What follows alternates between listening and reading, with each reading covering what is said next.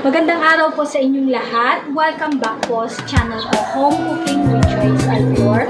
I'm not a chef, but I love to cook and my passion is cooking. So I want to share with you guys my recipes in my cooking.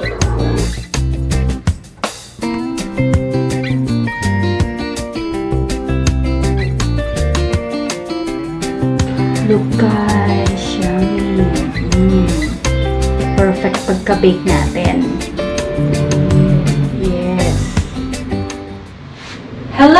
Everybody! December na po! And advance Merry Christmas sa inyong lahat, sa ating lahat. Okay? And of course, welcome back po sa channel ko, Home Cooking with Choice of Yours. So of course, for today, isa na naman pong masarap na uh, dessert or kakanin ang i-share ko sa inyo. And I know, magugustuhan niyo po ito. For only 3 ingredients. And ito ay ang bibingkang kasaba. Yes guys, madali lang to dahil tatlong ingredients lang. So pwede niyo po itong ihanda this coming Noche Buena or Media Noche. At hindi lang pwedeng panghanda guys, kundi pwede rin pangregalo sa inyong loved ones, sa inyong relatives, friends, and pwede nyo rin pong pagkakitaan this coming holiday season. Okay, so ano nga ba ang kaibahan ng bibingkang kasaba sa kasaba cake? So, of course, pag sinabi nating uh, kasaba cake, of course, sa word na cake, meron siyang egg and milk. Pero dito sa ating bibingkang kasaba, guys, coconut milk lang ang ilalagay natin. Okay, for only 3 ingredients, meron tayong bibingkang kasaba. Okay, so let's start the preparation. So ito guys ang ating mga ingredients. So as mentioned kanina, only 3 ingredients. So meron tayong 1 kilo grated fresh cassava. So grenade ko siya kanina guys. And then meron din tayong coconut cream. So 1 cup coconut cream for our mixture and then another 1 cup of coconut cream para sa ating toppings and ang ating pampatamis guys is panutsa. Yan. So instead na sugar, gagamit ako guys ng panut. Yan. So meron na akong in-slice kanina. So isa lang gagamitin ko. Okay? For this step, tunawin natin ang ating panutsa. Yan. So, para sa akin guys, mas masarap sa ating bibingkang kasava ang panutsa. Pero pag wala kayo, of course, you can use brown sugar.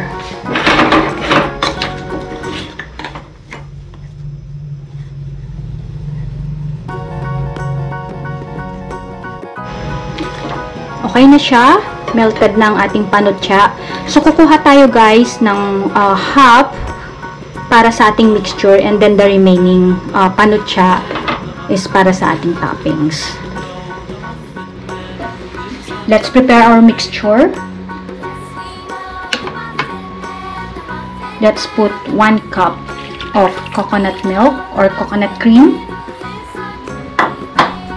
And then of course guys, yung ating melted na panutsa. Yan. Siputin natin. And then mix well guys.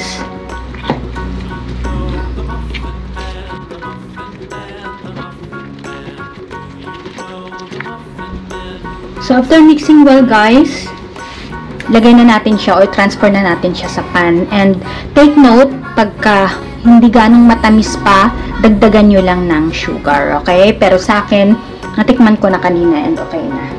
So let's tran transfer sa ating pan. So, kaya din siyang tinawag na bibingkang kasaba kasi pag binake natin siya or pag i-bake natin siya, lalagyan natin siya ng dahon ng saging as base. Okay?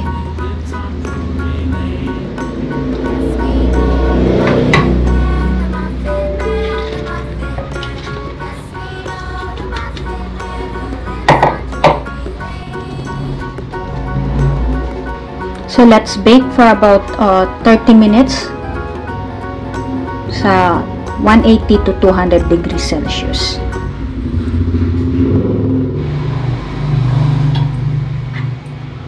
Let's put sa oven. Okay, while uh, waiting sa ating bake cassava, prepare natin ang ating toppings. Let's put our 1 cup coconut cream.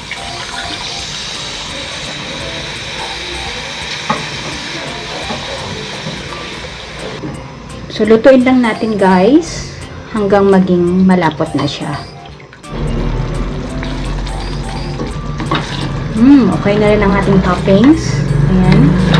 So, kung medyo gusto nyo pa ng mas uh, sticky, mas malapot, okay lang. Another few minutes pa.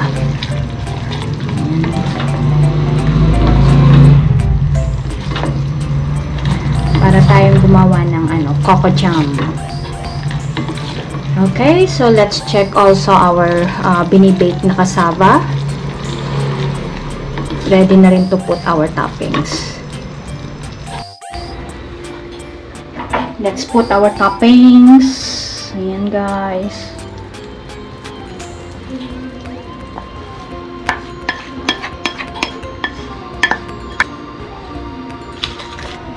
Okay, so let's bake for another few minutes. 15 minutes, all good. See you in a bit. Ito na ang ating bibingkang kasaba. Let's cool down and taste. Mmm, yummy. Here's our finished product. Ayan, sarap. So, kung may bibingkang malagkit, of course, meron din tayong bibingkang kamoting kahoy or bibingkang kasaba. Okay? So, it's tasting time. Ganda ng pagkakabit ng kanyang toppings. Almost perfect. Let's slice. Portion lang.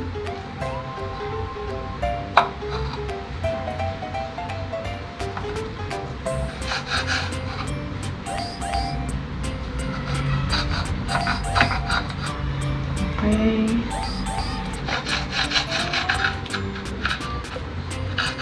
Look guys, look.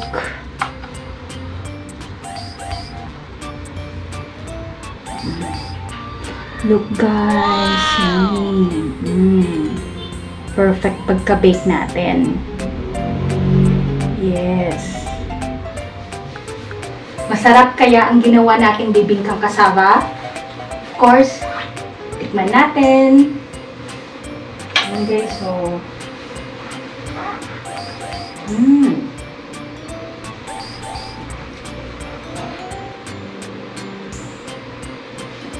It- Itsura pa lang guys, very soft siya. And masasabi ko, na perfect ko yung pagka-bake niya. Okay, so let's taste. Mmm.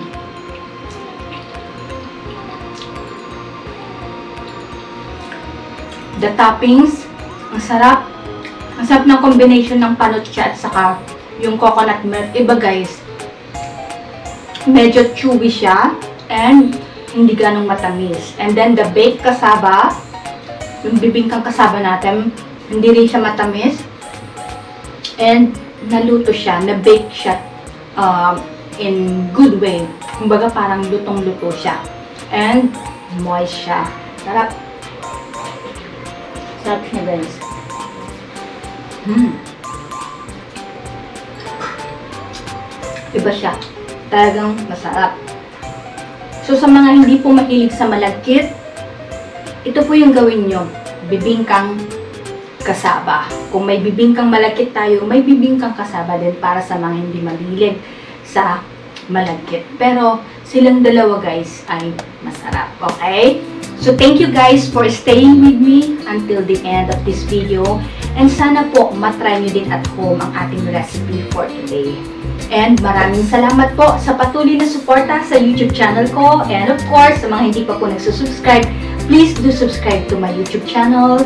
Please help my channel grow. And sana po sa mga nakapag-subscribe na, sana patuloy niyo po akong samahan, suportahan sa mga susunod pang videos ko. Okay? Thank you all. I love you all. God bless. Bye for now. Mm. Try it. to prove it.